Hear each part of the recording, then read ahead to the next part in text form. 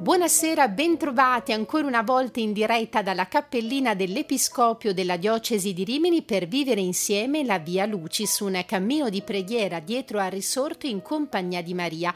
Una edizione speciale quella di questa sera perché insieme al nostro vescovo Lambiasi saranno sette donne a donarci una piccola testimonianza, a raccontarci come la resurrezione è entrata nella loro vita. E allora ringraziando già da ora anche Alessandro Giovanardi per averci aiutato nella scelta delle immagini che accompagnano le letture, vi auguro un buon ascolto.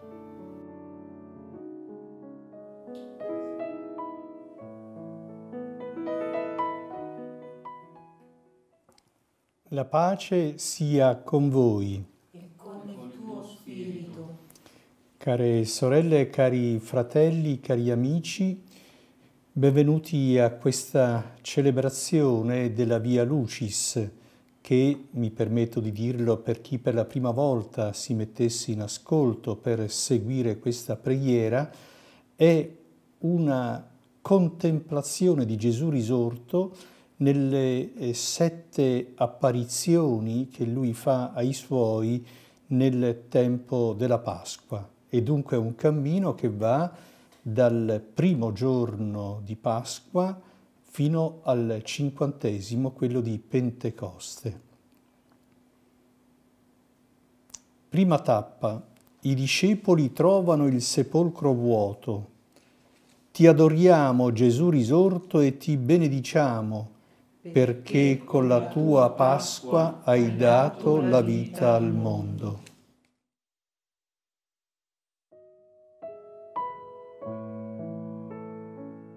Dal Vangelo secondo Giovanni.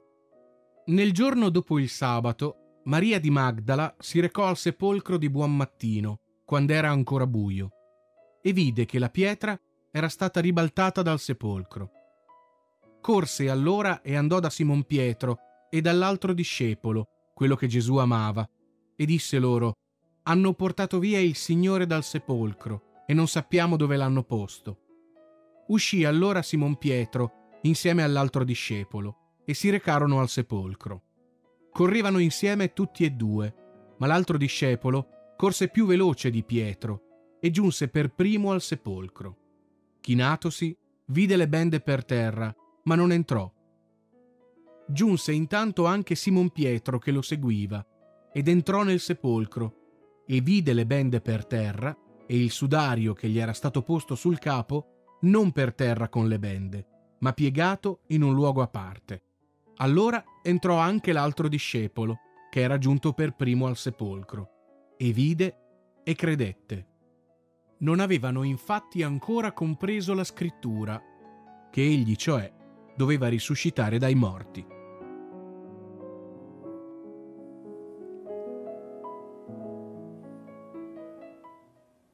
Maria di Magdala si reca al sepolcro e lo trova vuoto Immaginiamo lo shock di quel trauma dolorosissimo e allora lo va a dire a Pietro e a Giovanni che di corsa si recano anche loro alla tomba e la trovano vuota. Ma non si può trovare un Gesù vivo tra i morti. E allora si è reso forse irreperibile, introvabile?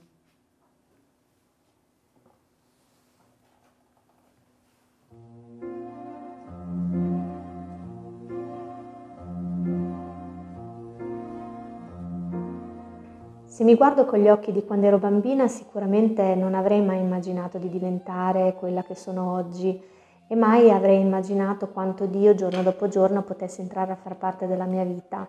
E quando ero piccola spesso mia mamma mi chiedeva di andare alla messa o a catechismo e io vivevo questa, questa cosa come una costrizione.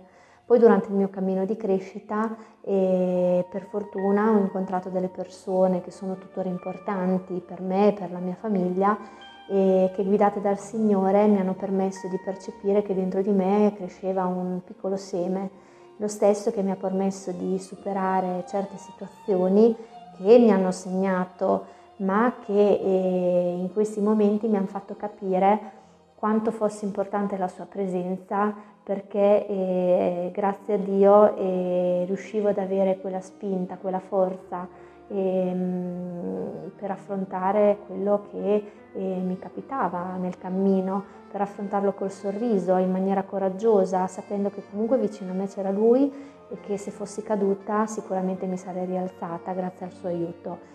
E mm, io sento la presenza del, del Signore, sento, vedo la sua luce, la vedo nelle persone che incontro, nelle esperienze che vivo, la vedo ogni giorno nella persona che ha deciso di mettermi al mio fianco, mio marito, la vedo nei nostri figli, tre doni importantissimi e spesso nei momenti di eh, smarrimento proprio in loro eh, sento la sua presenza. E quando ad esempio mia figlia durante il gioco inizia a cantare un gloria oppure quando eh, improvvisamente si fanno il segno della croce senza che nessuno glielo chieda e, o recitano un'Ave Maria e, mm, proprio in questi momenti capisco eh, quanto sia presente nella nostra vita e quanto sia mh, mm, una parte fondamentale in ciascuno di noi. E, mh, mm, io faccio l'insegnante e, e, prima insegnavo in una scuola gestita da suore eh, dove mi era naturale parlare di Gesù. Poi ho dovuto fare una scelta e, e ho iniziato a lavorare in un'altra scuola. Ero un po' titubante, ero paurosa, ma ho accettato la sfida perché sapevo che comunque era un po' più difficile parlare di Dio, ma parlando con un nostro caro amico, un prete, e lui mi disse tu grazie vai avanti, continua nel tuo cammino e vedrai che Gesù ti aprirà la strada. E infatti così è stato. Un bimbo un giorno, e vedendo la mamma, gli è corso incontro dicendo mamma, mamma, qui dentro c'è Gesù. E era un semplice biglietto di Natale ma in quella frase eh, era racchiusa tutta l'essenza della, del camminare lentamente nel cuore di ciascuno di Dio e, e questa è la sua luce, la sua luce che penetra lentamente nei cuori di ciascuno per donare tanta altra luce.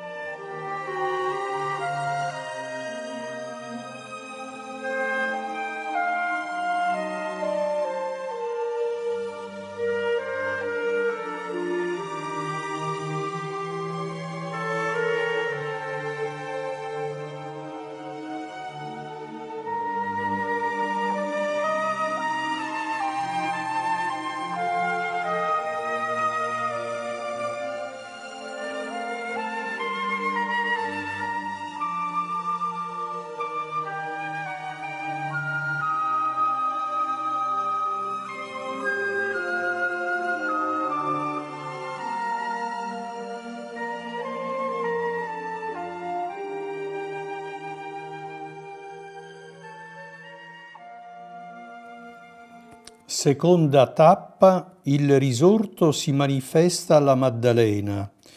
Ti adoriamo, Gesù risorto, e ti benediciamo, perché con la tua Pasqua hai dato la vita al mondo.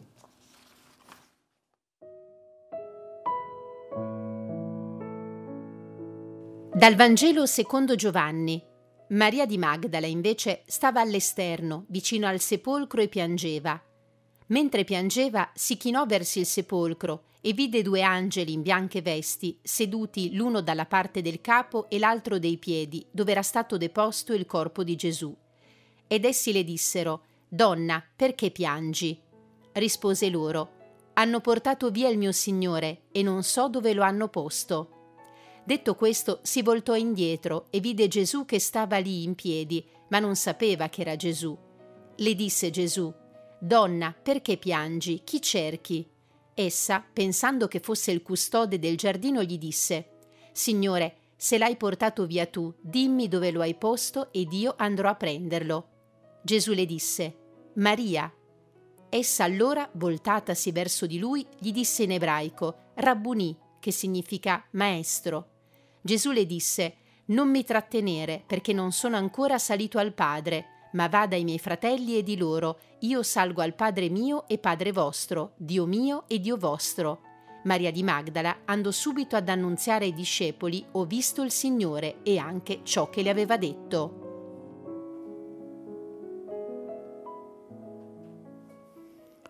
Donna, perché piangi? Le nostre sorelle, le donne, hanno un rapporto particolare con la vita, e dunque con l'amore e con il dolore. Donna, perché piangi? Questa domanda che Gesù rivolge alla Maddalena continua a rivolgerla ancora a tante donne che lui incontra nel loro dolore.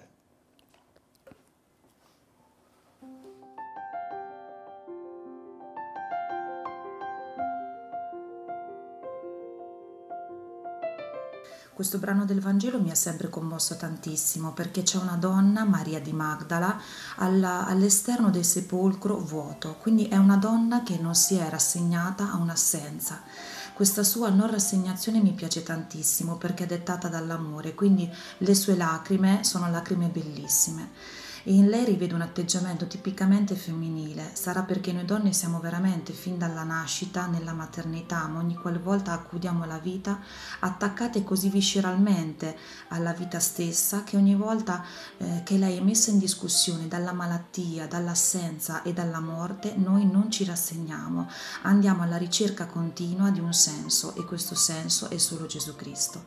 Quante volte nella nostra vita di donne infatti ci siamo dovute eh, trovare mh, a constatare un'assenza, la malattia nostra, di un figlio, di una persona cara e noi abbiamo continuato ad amare. Quindi questa ostinazione tipicamente femminile ci fa sempre andare oltre, scavare, scavare. Maddalena cosa fa? Guarda dentro il sepolcro, ma trova solo due angeli, ancora non le bastano, vuole trovare il suo Signore. Si volta indietro, lo vede ma non lo riconosce, ha bisogno di voltarsi meglio, di alzare il suo sguardo e il suo cuore lo riconosce quando Gesù la chiama per nome, quindi quando ha una, un incontro personale con lei. Lei ha le orecchie e le antenne alzate e lo riconosce subito. Ecco, in lei, in questo atteggiamento, vedo un altro tratto tipicamente femminile. Quante volte nella mia vita, nella vita delle mie amiche, ho notato che noi donne abbiamo quella sensibilità particolare per captare l'indefinibile, il Signore. Quindi mh, ogni qualvolta lui ci viene incontro nei sacramenti, nella parola, ehm, nell'abbraccio di un amico, sì, nell'abbraccio de- di un'amica, noi lo possiamo riconoscere. Noi donne, quando ci sentiamo chiamate per nome, abbracciate, consolate da un'amica, noi veniamo proprio rimesse al mondo e per noi è vera risurrezione. Quindi Maria di Magdala ci insegni sempre ad avere le antenne alzate. Un'altra donna straordinaria che è stata così, sempre predisposta ad accogliere dentro di sé eh, Gesù e ovviamente la Vergine Maria. E quindi io ho sempre immaginato un loro abbraccio, l'abbraccio di queste due donne che non viene raccontato nel Vangelo, anzi il Vangelo non ci parla proprio della Vergine Maria dal momento della croce del figlio alla Pentecoste, ma sono sicura che in quanto mamma lei ha captato, ha capito subito che suo figlio era risorto. Quindi immagino l'abbraccio tra Maria di Magdala e la Vergine Maria, queste due donne che hanno mantenuto dentro di sé sempre la speranza e la fede nonostante la morte. E è tipico di noi donne abbracciarsi, ritrovare se stesse e risorgere. Penso all'abbraccio bellissimo che c'è stato tra la Vergine Maria ed Elisabetta. Mm, e poi un'altra cosa che mi colpisce tantissimo appunto che Gesù ha voluto conferire a una donna, Maria di Magdala, la prerogativa di essere la prima apostola, di testimoniare per prima la sua risurrezione. Quindi queste due grandi gioie che ci vengono date, la nascita e l'annuncio della testimonianza in due grandi donne, Maria, la Vergine Maria e Maria di Magdala. Quindi come donne veramente siamo chiamate ogni giorno, appunto perché il Signore è lo stesso ieri, oggi e per sempre, ad accogliere la sua nascita e a testimoniare la sua resurrezione. Quindi queste due grandi donne ci aiutano veramente a rimettere al mondo Gesù e ad annunciare sempre la sua resurrezione.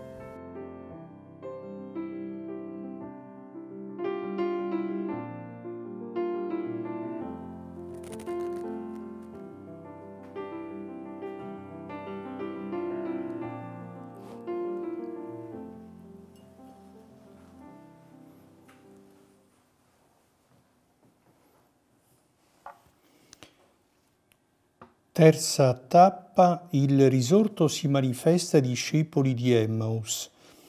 Ti adoriamo Gesù risorto e ti benediciamo perché con la tua Pasqua hai dato la vita al mondo.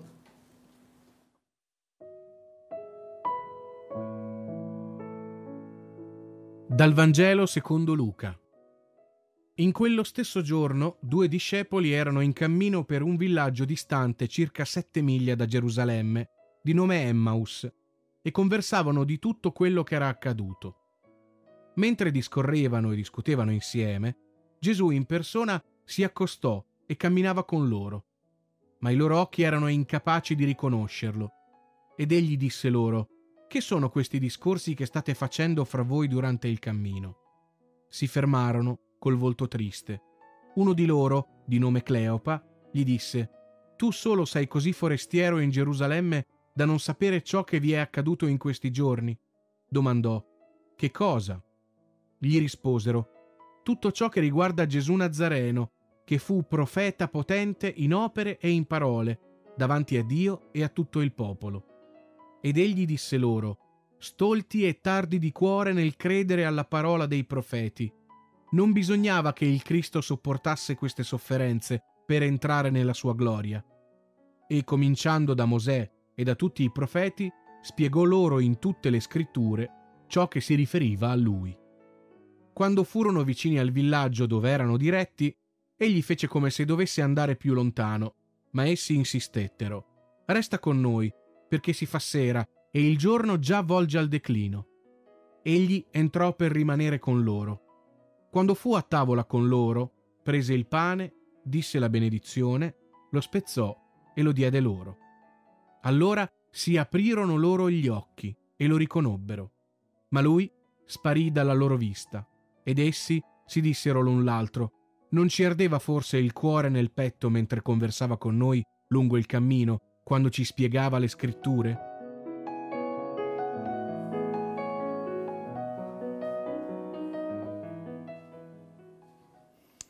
La croce ha due lati da una parte dice odio, violenza, dolore, morte, dall'altra dice pazienza, amore, vita. Ma per intercettare il lato luminoso della croce abbiamo bisogno di incontrare il Signore risorto, come avvenne per i due di Emmaus.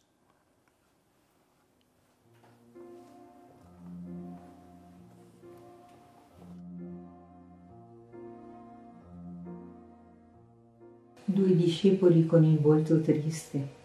Le loro speranze sono cadute, richiuse dietro una pietra tombale. Per loro la croce è scandalo, come per ognuno di noi. La malattia, la sofferenza, la morte per tutti sono uno scandalo. Del resto la nostra società, la nostra cultura ci hanno abituati a rimuoverle, a nasconderle fino a quando irrompono nell'esistenza e annullano speranze e progetti. Quelli di un'intera generazione come oggi, colpita dal coronavirus, o quelli più piccoli ma non meno importanti di una moglie, io, che assiste impotente alla malattia e alla morte del suo compagno di vita e finisce così il sogno di una vecchiaia serena insieme, di veder crescere i nipoti e di essere contenti ogni giorno di tante piccole gioie. Noi speravamo. Questo verbo al passato suggerisce l'idea di una speranza conclusa, vanificata. E si può essere davvero così, stolti come i due discepoli, senza quella sapienza del cuore, dono dello spirito, che ti fa leggere in filigrana la tua vita, guidata e amata dal Signore, e lenti di cuore, concentrati sul proprio senso di perdita e non sul bene che il Signore ci prepara. Ma nonostante il dolore appanni la vista, Gesù il risorto sa farsi presente. È una compagnia discreta, ascolta l'espressione del mio dolore, le domande che la mia stessa fede mi pone. E così come i loro occhi erano impediti a riconoscerlo, così i miei. Poi le sue parole, la sua presenza, attraverso la preghiera e il conforto degli amici, compagni di cammino, piano piano si fanno strada, nella sofferenza e la illuminano fino a che posso chiedere al Signore resta con me perché si fa sera. Gesù è davvero una presenza discreta e ha bisogno di essere chiamato, invocato. La sua disponibilità è totale, sofferta e offerta nel pane eucaristico, nella certezza di una vita senza fine che si fa pane, che apre a speranza nuova, che posso condividere con i miei fratelli e con mio marito. Dammi sempre, Gesù risorto, la gioia di riconoscerti nel pane spezzato per me che tu sei, nella promessa già interrealizzata della vita che non finisce, dove io ti possa contemplare e ritrovare un giorno le persone più care.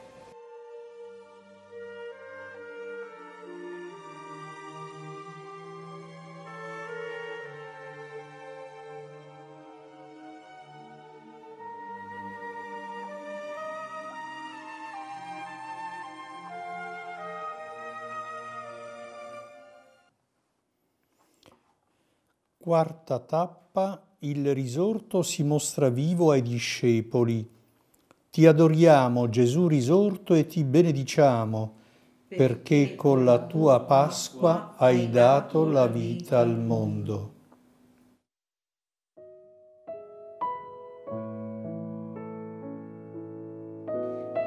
Dal Vangelo secondo Giovanni.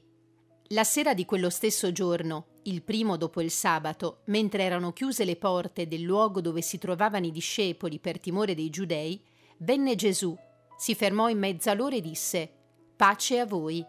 Detto questo, mostrò loro le mani e il costato, e i discepoli gioirono al vedere il Signore. Gesù disse loro di nuovo, Pace a voi.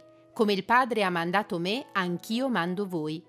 Dopo aver detto questo, alitò su di loro e disse, ricevete lo Spirito Santo. A chi rimetterete i peccati saranno rimessi, e a chi non li rimetterete resteranno non rimessi.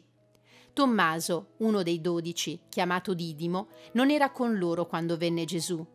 Gli dissero allora gli altri discepoli, Abbiamo visto il Signore. Ma egli disse loro, Se non vedo nelle sue mani il segno dei chiodi, e non metto il dito nel posto dei chiodi, e non metto la mia mano nel suo costato, non crederò. Otto giorni dopo i discepoli erano di nuovo in casa e c'era con loro anche Tommaso. Venne Gesù, a porte chiuse, si fermò in mezzo a loro e disse, Pace a voi. Poi disse a Tommaso, Metti qua il tuo dito e guarda le mie mani. Stendi la tua mano e mettila nel mio costato, e non essere più incredulo, ma credente. Rispose Tommaso, Mio Signore e mio Dio. Gesù gli disse, Perché mi hai veduto, hai creduto Beati quelli che pur non avendo visto crederanno. Molti altri segni fece Gesù in presenza dei suoi discepoli, ma non sono stati scritti in questo libro. Questi sono stati scritti perché crediate che Gesù è il Cristo, il Figlio di Dio, e perché credendo abbiate la vita nel suo nome.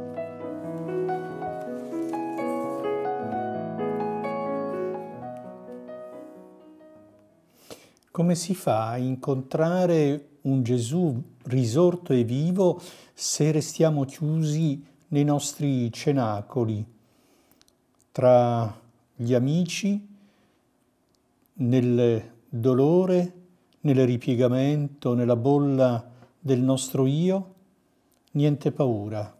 È Gesù che si presenta, che non sfonda la porta del nostro cuore, perché non ha bisogno di farsi largo così lui penetra nel nostro intimo, ci incontra e ci parla.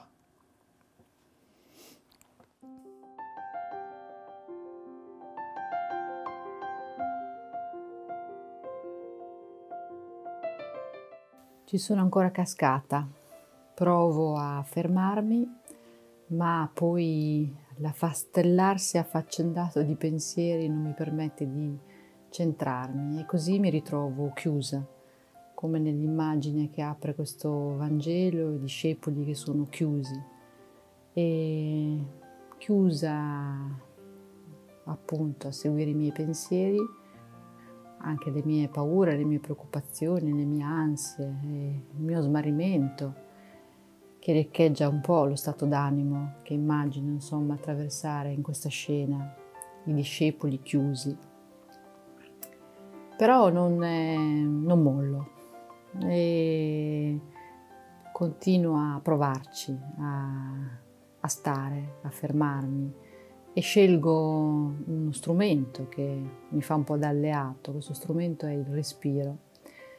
E quindi cerco di riposare proprio nella sensazione dell'addome che semplicemente avanza e, e si ritrae seguendo il ritmo del respiro. Mi lascio così cullare e in questa sensazione con calma, pazienza e perseveranza e piano piano, senza che io me ne accorga, questo senso di chiusura si trasforma in un'apertura, in uno spazio che si amplia e, e allora riecheggia con forza, intensamente una parola. Questa parola è pace e suona più volte, come più volte viene ripetuta in questo brano. È la prima parola che viene detta, pace, pace.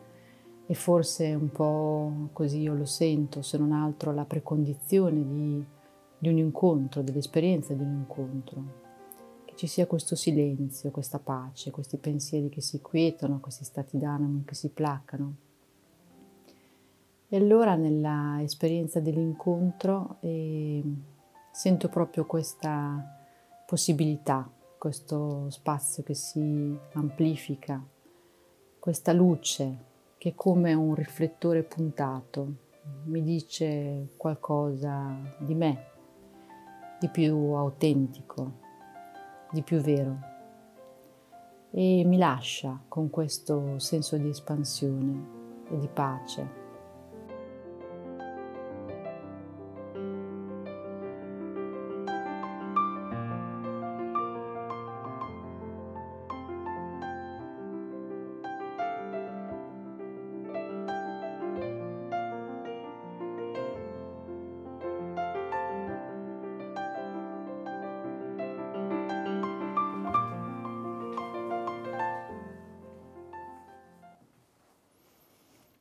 Quinta tappa, il risorto conferisce il primato a Pietro.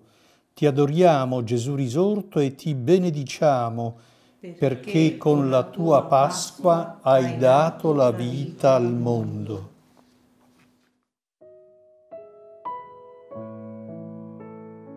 Dal Vangelo secondo Giovanni. Quando ebbero mangiato, Gesù disse a Simon Pietro, Simone di Giovanni, mi vuoi bene tu più di costoro? Gli rispose, Certo, Signore, tu lo sai che ti voglio bene. Gli disse, Pasci i miei agnelli. Gli disse di nuovo, Simone di Giovanni, mi vuoi bene? Gli rispose, Certo, Signore, tu lo sai che ti voglio bene. Gli disse, Pasci le mie pecorelle. Gli disse per la terza volta, Simone di Giovanni, mi vuoi bene? Pietro rimase addolorato che per la terza volta gli dicesse mi vuoi bene e gli disse Signore, tu sai tutto, tu sai che ti voglio bene. Gli rispose Gesù Pasci le mie pecorelle.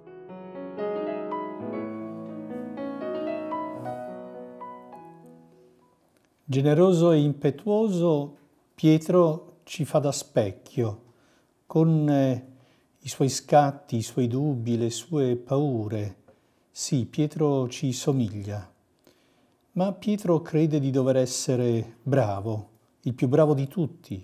In fondo Gesù non gli ha dato forse il primo posto?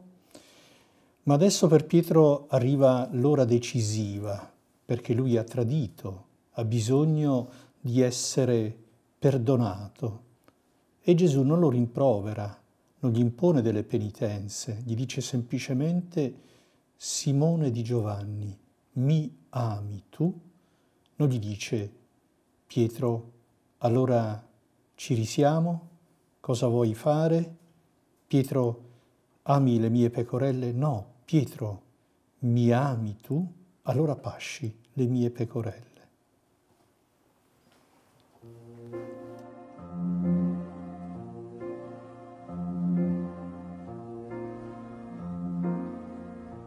Sono contenta che mi sia capitato questo Vangelo con la figura di Pietro, perché io e Pietro ci assomigliamo. Come Pietro sono un entusiasta, sono una generosa, capace di slancio e di tuffarmi in un ideale, tant'è vero che con mio marito e i nostri figli siamo stati in missione ad Gentes per otto anni. Come Pietro, dubbi tanti e paure e nei momenti cupi non, non riconosco Gesù. Come Pietro non ho la capacità magari di arrivare prima, afferrare al volo le situazioni, ma ho il coraggio di entrare e di andare a fondo. E come a Pietro mi viene rivolta oggi questa domanda da Gesù. Mi vuoi bene? Non mi chiede se prego, se vado a messa, se sono una brava persona, ma mi chiama per nome, mi scruta e mi chiede se gli voglio bene. È questo il nocciolo da cui scaturisce tutto il resto. Lui già me ne vuole di bene e mi chiede reciprocità. Conosci già il mio cuore, sa la risposta, ma vuole che io mi conosca e faccia chiarezza in me stessa. Dallo scorso autunno ad oggi ho vissuto un decrescendo lavorativo che mi ha portato da un posto di responsabilità full time e in contemporanea allo studio per un master alla disoccupazione in questo percorso che sembra un gioco al ribasso, penso che mi sia chiesto di perdere la mia vita, intesa come la intendevo io, con i miei progetti, i miei tempi, le mie priorità. Penso che mi, chie- mi sia chiesto di accantonare quel io, quel mio, un po' troppo ingombranti. Questo non è un gioco al ribasso alla fine, ma è un itinerario di libertà per arrivare a poter guardare Gesù negli occhi e rispondere L'affanno del lavoro, che pur ho sempre cercato di vivere cristianamente, non mi permetteva di sentire la domanda mi vuoi bene? Essendo una persona coscienziosa mi sono sempre presa le mie responsabilità fino ad arrivare a pensare che le cose dipendessero da me. Anche la mia famiglia lasciavo le briciole. Tolto il rumore di fondo, sto imparando a sentire di nuovo la voce di Gesù. E lui mi chiede, mi vuoi bene? Pietro ha risposto di sì e si è trovato a passare da pescatore a pastore, da uno che cattura a uno che si prende cura di ciò che non è suo. Io sto facendo il mio percorso per, so- per arrivare a sostenere lo sguardo di Gesù e rispondere. Quando e come ritroverò la mia vita non lo so, ma so che quando sarà non sarà più una vita solo mia.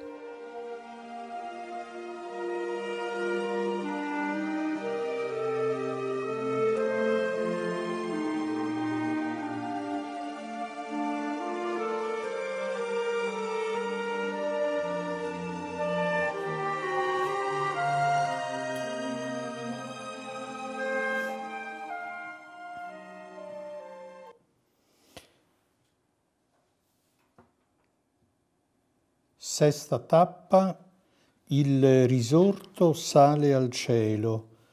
Ti adoriamo, Gesù risorto, e ti benediciamo, perché con la tua Pasqua hai dato la vita al mondo.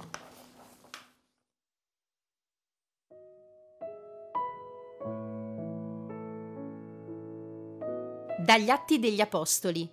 Così gli Apostoli, venutisi a trovare insieme, domandarono a Gesù, Signore, è questo il tempo in cui ricostruirai il regno di Israele?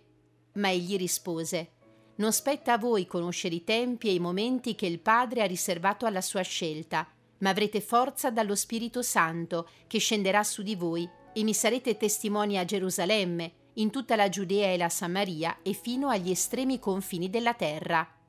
Detto questo, fu elevato in alto sotto i loro occhi e una nube lo sottrasse al loro sguardo.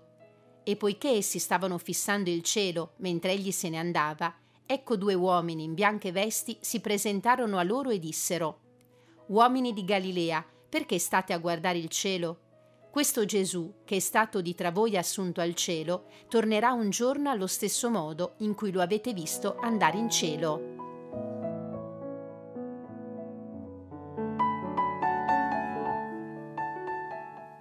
Tante volte pensiamo all'ascensione come alla scomparsa di Gesù, ma è proprio così?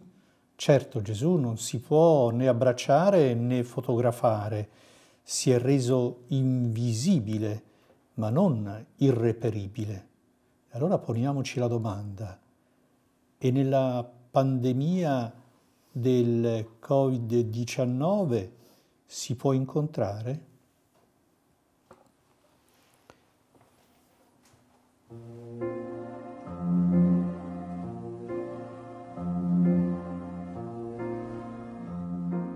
Mentre ci si scambiava gli auguri nella notte di Capodanno del 2020, nessuno di noi avrebbe mai immaginato quello che sarebbe accaduto nel giro di poche settimane, di quello che la pandemia ha portato alle persone in tutto il mondo. Certo, qualche film del genere catastrofico aveva mostrato certi scenari, ma tutti noi l'avevamo guardati come fantascienza, appunto. E invece ci siamo trovati fermi, fermati, chiusi in casa, impauriti, per noi, per le nostre famiglie, per i nostri genitori anziani, incerti sul futuro e senza possibilità di essere artefici di azioni concrete che potessero risolvere la situazione. Non potevamo certo eliminare il virus. E dopo il primo schiaffone ricevuto sono iniziate le riflessioni, le valutazioni su quello che stavamo vivendo. Per la nostra famiglia rimaneva la tranquillità di una casa accogliente, ma chi una dimora non ce l'ha, come fa a vivere questa ulteriore difficoltà? I nostri posti di lavoro non hanno subito problemi, ma chi ha perso il lavoro e chi non lo troverà per la stagione estiva, come farà ad affrontare la vita quotidiana? E se mi ammalassi e se portassi il contagio a casa dai miei familiari? Tante domande, poche risposte la parola di Dio ci dice di non, che non spetta a noi conoscere i tempi e i momenti, ma Gesù ci annuncia che avremo forza dallo Spirito Santo e dai suoi doni. E allora diventa più facile alzare gli occhi al cielo e guardarlo con speranza. Se dovessimo fare tutto con le nostre forze, come riusciremo a farcela? Siamo tutti sotto lo stesso cielo e, e insieme con lo Spirito Santo che ci unisce, possiamo proseguire il cammino in attesa del giorno in cui Gesù ritornerà. In questo periodo di fermo, se non siamo arrivati, se non siamo riusciti ad arrivare fino agli estremi confini della terra, abbiamo potuto nel nostro quotidiano eh, ciascuno dare il proprio contributo con semplicità. Eh, io e Chiara, la secondogenita, appena rientrata dal servizio civile in Bolivia, appena in tempo, Abbiamo presidiato il fortino in casa, fra impasto della pizza, biscotti e videochiamate ai nonni cercando di eh, aiutarli a vivere un giorno alla volta senza farsi prendere dalla paura. Mario e Mamadou, che è il ragazzo senegalese che vive con noi da tre anni e mezzo, hanno potuto aumentare la loro attività in eh, Caritas perché pers- l'aumento delle persone che si sono rivolte alla sede diocesana è stata veramente eh, intensa e sapevano che c'eravamo noi che pensavamo a loro. Matteo, il primogenito, eh, all'inizio del suo percorso da medico, ha svolto l'attività di volontariato in ospedale a Bologna. La distanza, la fatica, eh, tutte situazioni che comunque si sono fatte sentire ma sempre nella gratitudine di, di quello che ci è stato dato di vivere. E leggendo, dei, leggendo questo brano eh, mi immagino di guardare i volti degli apostoli e, e, li vedo stupiti, ma anche sereni, quasi gioiosi nonostante il momento di distacco che stanno vivendo.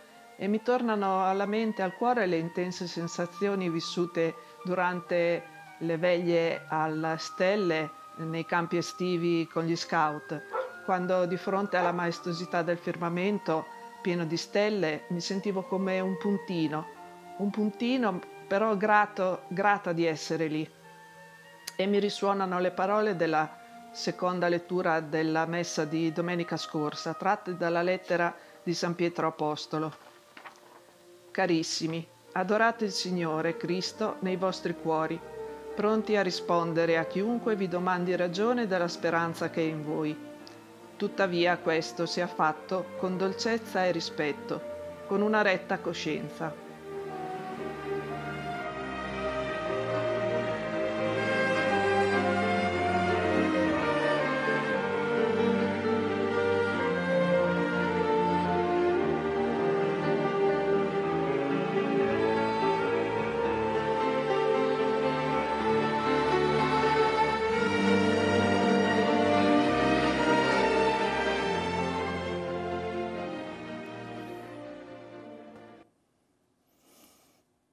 Settima tappa, il risorto manda ai discepoli lo Spirito promesso. Ti adoriamo, Gesù risorto, e ti benediciamo, perché con la tua Pasqua hai dato la vita al mondo.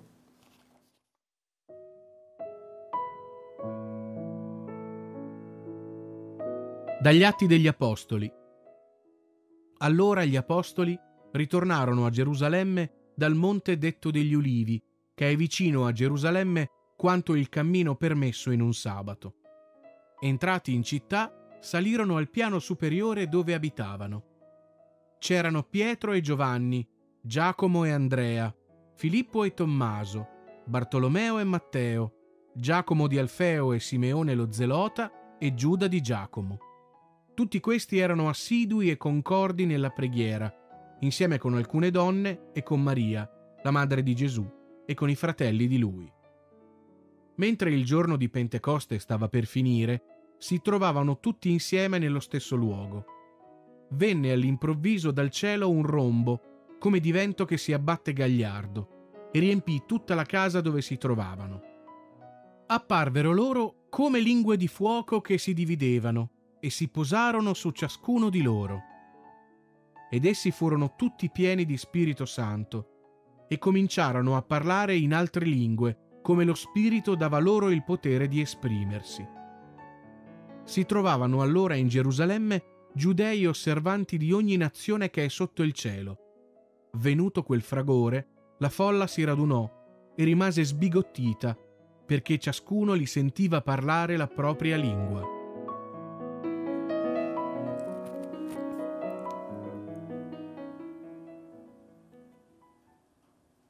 La Pentecoste non è la fine della Pasqua, è il suo compimento, la sua pienezza. Noi rischiamo di pensare che la Pentecoste abbia chiuso la parentesi del lungo grande giorno pasquale che non è durato 24 ore e neanche solo una settimana, ma è durata addirittura 50 giorni. La Pentecoste non chiude, la Pentecoste apre. La Pentecoste non è un evento isolato, lo Spirito Santo non è sceso giù dal cielo per poi sparire, ma per rimanere. L'aveva detto Gesù, riceverete forza dallo Spirito Santo. La vita allora, la storia, davvero può essere una Pentecoste permanente.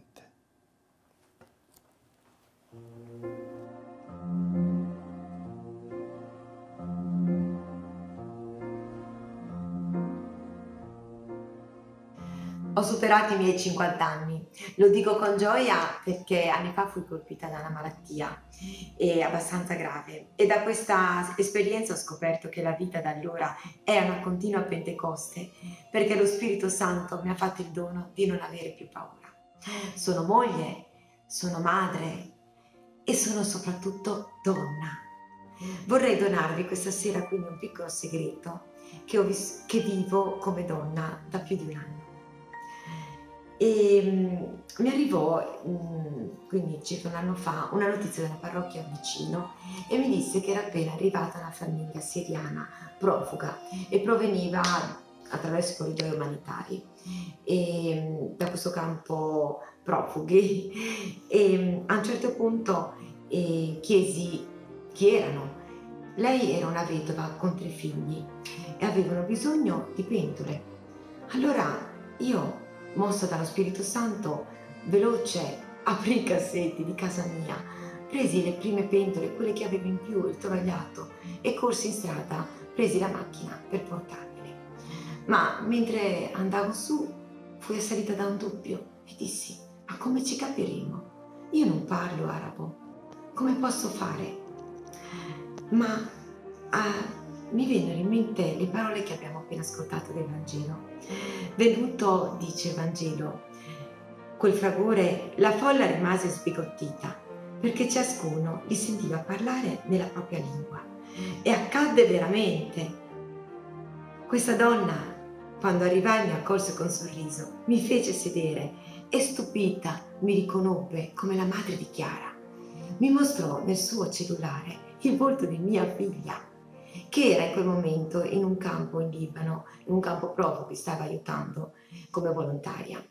Ed era, eh, Chiara in quel momento era a sedere vicino a suo fratello. Noi ci guardammo, abbiamo capito immediatamente che solo Dio poteva, poteva aver unito le nostre storie. Chi poteva immaginare che lei sarebbe venuta ad abitare a pochi chilometri da me? Emozionate ci siamo abbracciate e stupite ci siamo veramente, abbiamo riconosciuto il dono dell'amore. E da allora ci chiamiamo sorelle e senza traduttore abbiamo continuato a vederci con altre donne musulmane, sua cognata e una loro vicina, tra l'altro marocchina, ma tutte musulmane. Io ho insegnato loro a cucire degli abiti e altre cose di casa perché in mano ho quest'arte.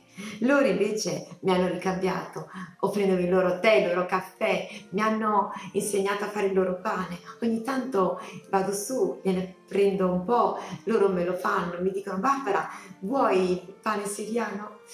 Beh, insomma, e vado alla conclusione. Posso dire dunque che io ho vissuto la nuova Pentecoste e ho visto l'azione dello Spirito Santo, perché lo Spirito Santo è sceso su di noi, ha voluto unire i nostri cuori e la nostra fede nell'unico Dio dell'amore.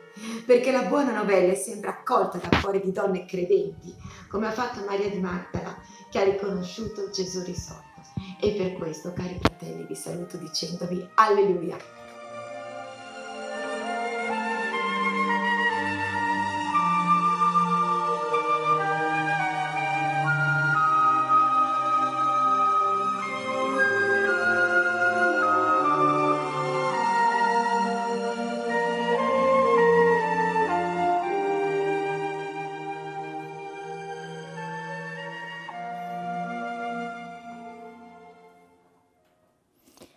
Per l'intercessione di Maria chiediamo a Gesù risorto di benedirci, di farci sempre sentire la presenza del Padre e di aiutarci a prepararci in questi prossimi giorni alla venuta dello Spirito Santo. Il Signore sia con voi. E con il tuo Spirito. Vi benedica Dio Onnipotente, Padre e Figlio e Spirito Santo.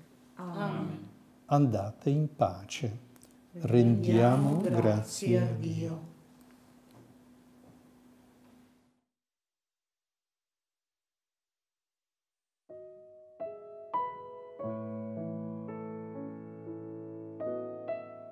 E in conclusione a questa Via Lucis speciale permettetemi un ringraziamento di cuore alle sette donne che ci hanno regalato queste bellissime e preziose testimonianze di vita. Un grazie ad Olga, a Sonia, ai nostri tecnici e ad Alessandro Giovanardi.